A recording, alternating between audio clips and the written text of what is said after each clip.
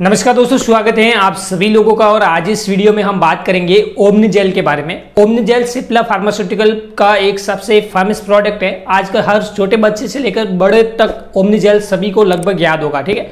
तो आज इस वीडियो में हम समझेंगे कि भाई ओमनी है, वो कहाँ पर उपयोग किया जाता है, क्या इसके साइड इफ़ेक्ट है प्रिकॉशन क्या रखनी है मार्केट में इसके और भी अल्टरनेट कौन कौन से ब्रांड हैं और ओमनी जेल में ऐसी कौन सी मेडिसिन मिली हुई होती है जो इस ट्यूब को इतना वैल्यूबल और इफ़ेक्टिव बनाती है। तो पूरी जानकारी आपको ओमनी जेल के बारे में इस वीडियो में मिलेगी तो चलिए वीडियो को हम शुरू करते हैं।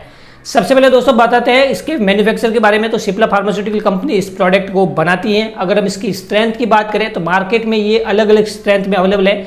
10 ग्राम की ट्यूब अवेलेबल है 20 ग्राम 30 ग्राम की भी ट्यूब अवेलेबल है। यहाँ तक 50 ग्राम और 75 ग्राम की भी ट्यूब मार्केट में ओमनी जेल की अवेलेबल है ओके अगर हम इसके कंपोजिशन की बात करें कि भाई ओमनी जेल में कौन कौन से केमिकल ड्रग्स जो है उसमें मिली हुई होती है तो इसमें चार तरह की ड्रग्स मिली हुई होती है। सबसे जो पहली है वो लिंसिड ऑयल सेकेंड है डाइक्लोफेनिक सोडियम एंड थर्ड है मिथाइल सेलिसलेट एंड फोर्थ है मेंथॉल ये सारे अलग अलग क्वांटिटी में इसमें मिले हुए होते हैं। अब हम दोस्तों बात करते हैं ओमनी जेल के उपयोग के बारे में कि ओमनी जेल को कहाँ पर उपयोग में लिया जाता है। तो ओमनी जेल एक तरह की एनाल्जेसिक ट्यूब है मतलब कि दर्द निवारक जेल है जितने भी प्रकार के दर्द होते हैं शरीर में वहाँ पर ओमनी जेल को यूज़ किया जाता है, ठीक है? कौन से दर्द? तो देखिए मसल्स रिलेटेड जितने भी प्रकार के पेन हैं, अगर हमारी मसल्स में पेन हो रहा है तो वहाँ पर ओमनी जेल को यूज़ कर सकते हैं। अगर कोई व्यक्ति है जिनको जॉइंट में पेन हो रहा है जॉइंट में जोड़ों में बहुत दर्द हो रहा है तो वहाँ पर वो व्यक्ति है, वो ओमनी जेल का यूज़ कर सकते हैं। यहाँ तक जो एक बीमारी होती है रूमेटोड अरेथराइटिस की प्रॉब्लम जो कि जोड़ों के रिलेटेड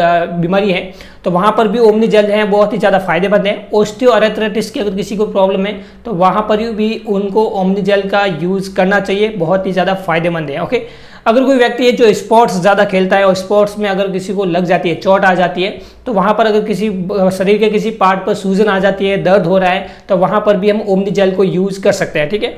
और भी कई तरह की चोट वगैरह है जहाँ पर शरीर में सूजन आ जाती है इन्फ्लामेशन हो जाता है स्वेलिंग आ जाती है तो वहाँ पर ओमनी जेल है, हम यूज़ कर सकते हैं, ठीक है? मोटे तौर पर बात करें तो ओमनी जेल दर्द को कम करती है, सूजन को कम करती है इन्फ्लामेशन को भी ये कम करती है। अब हम दोस्तों बात करते हैं साइड इफ़ेक्ट के बारे में कि ओमनी जेल के साथ में कौन कौन से साइड इफ़ेक्ट देखे तो देखिए मोटे तौर पर किसी तरह के साइड इफ़ेक्ट नहीं देखे गए अगर कोई व्यक्ति लिमिटेड में इसको यूज़ करता है, ज़्यादा मात्रा में यूज़ नहीं करता है तो इससे कोई साइड इफ़ेक्ट नहीं है। लेकिन अगर कोई व्यक्ति जो सेल्फ मेडिकेशन करता है, ज़्यादा मात्रा में शरीर पर अप्लाई कर रहा है तो स्किन के ऊपर इरिटेशन की प्रॉब्लम है हाइपर की प्रॉब्लम है एक्जिमा की प्रॉब्लम है ओडिमा की प्रॉब्लम है, ये कुछ साइड इफ़ेक्ट है, उनकी स्किन पर देखे जा सकते हैं ओमनी जेल को ज़्यादा यूज़ करने पर ओके अब हम दोस्तों बात करते हैं कि भाई इसमें जो ड्रग्स मिली हुई है, चार प्रकार की मैंने आपको ड्रग्स बोला है, वो कौन कौन से मैकेनिज्म ऑफ़ एक्शन है, किस तरह से हमारे शरीर में काम करती है। सबसे पहले बात करते हैं लिंसिड ऑयल के बारे में।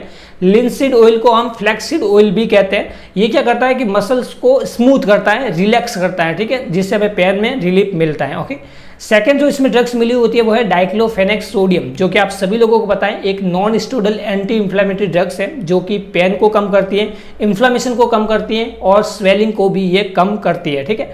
थर्ड जो इसमें ड्रग्स है मिथाइल सेलिसलेट जिसका काम है इन्फ्लामेशन को कम करना, सूजन को ये कम करती है। फोर्थ इसमें जो ड्रग्स हैं, वो है मेंथोल मेंथोल क्या है? मसल्स को ठंडक प्रदान करती है। भाई, वहाँ पर जब हमारे शरीर में कोई किसी पार्ट पर चोट आ जाती है इन्फ्लामेशन होता है, लगती है, दर्द होता है तो वहाँ पर क्या है? हमें जलन ज़्यादा होती है। तो मेंथोल क्या काम करता है? ये ठंडक प्रदान करता है मसल्स को।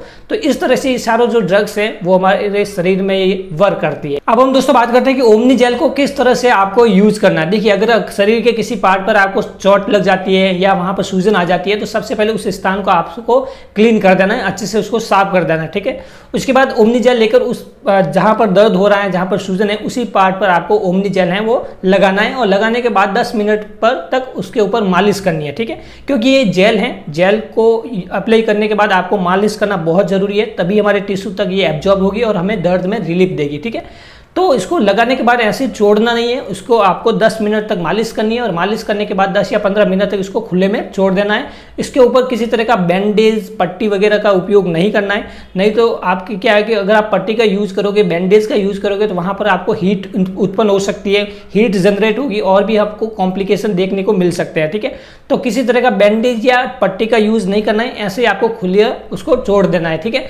अब हम दोस्तों बात करते हैं कि ओमनी जेल को यूज़ करते समय आपको किन बातों का ध्यान रखना है। सबसे जो पहली बात है ओमनी जेल लगाने के बाद में आपको अच्छे तरीके से उसके ऊपर मालिश करना है, ठीक है? सेकेंड बात ओमनी जेल कभी भी आपको शरीर के किसी कटे हुए भाग पर नहीं लगाना है, ठीक है? अगर शरीर का कोई कटा हुआ भाग है, वहाँ पर आपको दर्द हो रहा है तो ओमनी जेल का यूज़ नहीं करना है, नहीं तो उस स्थान पर आपको इरिटेशन की प्रॉब्लम हो सकती है हाइपर सेंसिटिविटी की प्रॉब्लम आपको हो सकती है, ठीक है?